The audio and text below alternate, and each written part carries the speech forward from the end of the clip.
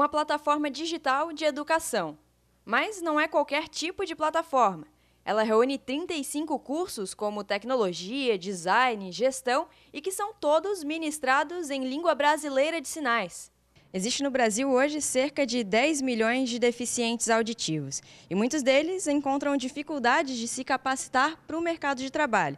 Mas existe uma plataforma digital muito interessante e que foi pensada especificamente nessas pessoas. A ideia surgiu lá em 2015, apesar da gente ter a empresa formalizada desde 2016. Foi num evento que aconteceu aqui em Florianópolis, no Startup Weekend Education, então era voltado para a educação. E aí o Icro trouxe a ideia da gente trabalhar com surdos trabalhar com a falta de acessibilidade de surdos dentro das escolas. A plataforma já tem mais de 3 mil alunos espalhados por todos os estados do Brasil. Os conteúdos são disponibilizados de maneira totalmente digital. Então, o nosso trabalho ele envolve capacitar o surdo para o mercado de trabalho e para as atividades profissionais que ele escolheu é, fazer.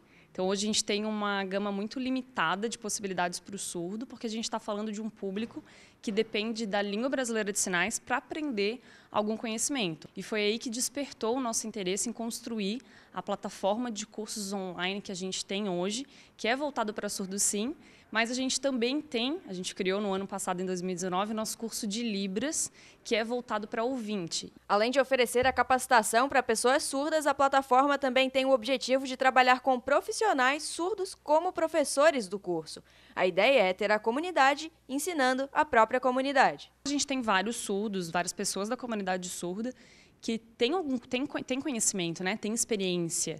Então, independente do, do tema, a gente tem isso, mas a gente precisa garimpar. Então, a nossa prioridade, sim, é surdo. A gente quer que esse conhecimento venha da própria comunidade ou que essas pessoas elas também se capacitem, se preparem para depois elas poderem ensinar. A plataforma até agora é a única com esse formato no Brasil e também no mundo.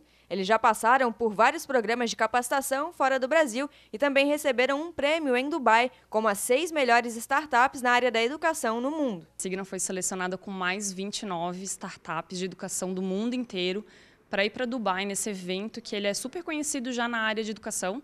Então, eles têm uma, uma premiação muito grande para professores.